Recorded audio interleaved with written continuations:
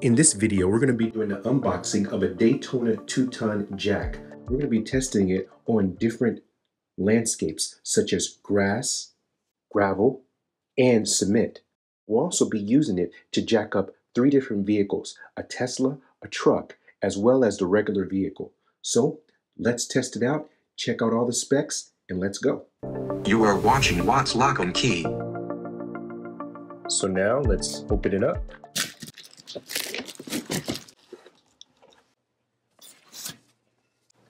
It uh, weighs about 40 pounds, and we're going to test the weight just to verify that the weight is accurate. When the jack is first purchased, you'll notice that there's this little piece here, and it's basically plastic. You're going to put your hand on the handle socket to release it, and then you just pull this up, and this will release the pistons here. You see too, there is a little bit of grease that they put here. And uh, that's the entrance for your handle socket in your yoke. So you just place that in here, making sure that this is completely opened. As you know, you've used jacks before, I'm sure. Twist it to the right, take it to the right there, and does jack up pretty well. Obviously, you're probably not going to be using it to maximum height unless you're lifting something very light. And one good thing about this jack is they do have these handles here. This allows you to pick it up if you put this in the back seat of your trunk or in the bed of your truck. Uh, it's easy to lift it. We're to see exactly what it's weighing.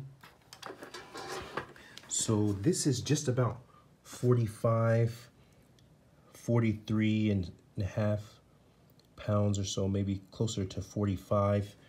And uh, so this is the weight here. And what you would probably do is you would hold it up sideways here. And you could lift it with both arms so that you're able to, to host it up. Um, that's one way you can do it. Sometimes I'll even grab it just by one end as well. If you want to know how to do maintenance to a Daytona jack, uh, we have another video which will list uh, somewhere here, uh, which will show you how to actually do maintenance on the jack so that you could uh, have the jack oil that it needs so that it doesn't cause you any issues. So we're gonna double check the actual height. It says that it could lift up to about 16 and 3 fourths inches. So that's pretty accurate. And the length is 23 and a half inches with the end of the yoke here. And I wouldn't suggest that you use this complete height, but that is where it stands. And to release it, we'll just release our lever here. And uh, now we're going to test it out on a variety of landscapes. We see how it does move around fairly smooth on cement. One thing you will notice is that right here, it does get a little bit of uh, wear and tear on the wheels here. And also your wear will you'll find here. Sometimes your vehicle may even be in grass.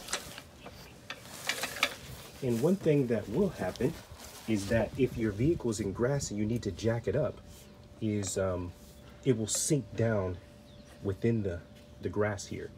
Uh, but one feature that they have is this bar right here in the front. Even though it sinks down a little bit, it does give a little bit of stability uh, to your jack, but you will find that there could be debris that, and this could, this debris that you find sometimes underneath that collects may cause issues to the jack. So you just have to make sure that you clean it after you uh, jack up any vehicle uh, in the grass. As regards to gravel, it does have a little issue moving around in gravel. So just like any other jack, obviously you can pick up the jack and um, that will uh, allow you to be able to use it if your vehicle is on gravel, but it should not be um, pulled while it's on gravel. As well, it does impact the bottom of the jack as well. And already we see here that the wheels, they are scratched a little just from just pulling around just a little bit on cement and as well as gravel. So now we're gonna test the jack on a Prius 2010 and see how well it holds up with the two ton jack. So let's see how many pumps it's gonna take to jack it up. One, two, three, four, five, six, seven, eight, nine, ten. Just about off the ground with 10 here.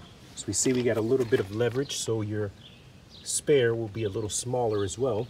So just about 10 pumps and um, didn't require too much effort.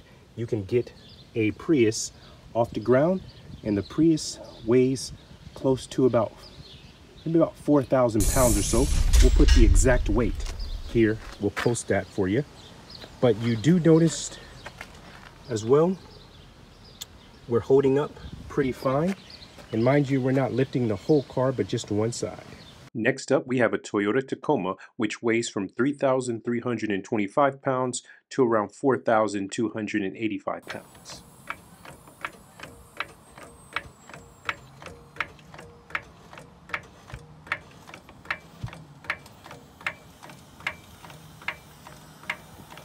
All right, so about 20 pumps here, and we're going to stabilize this as well.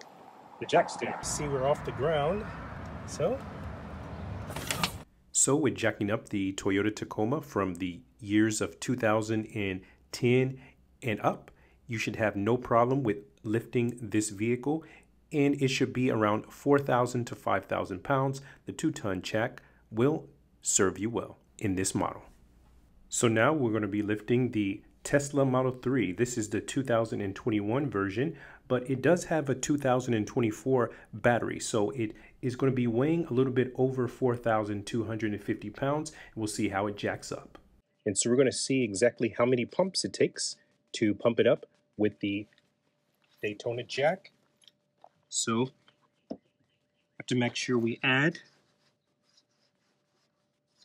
these guys here, which is our puck. Always make sure you use your knee pad.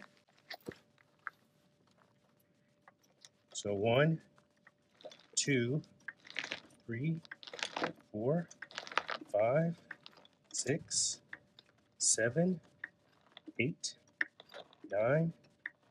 So took about six or so pumps, uh, which was very easy, easily done. So we can see here, the vehicle is off the ground. You would be able to change your tire if needed. So I think this is a, a 10 out of 10, uh, jacking up the Tesla. And uh, this is basically the Daytona Jack 2 ton put to the test. And if you want a little bit more information about the Jack, feel free to leave your comments below. And uh, we're off to the races.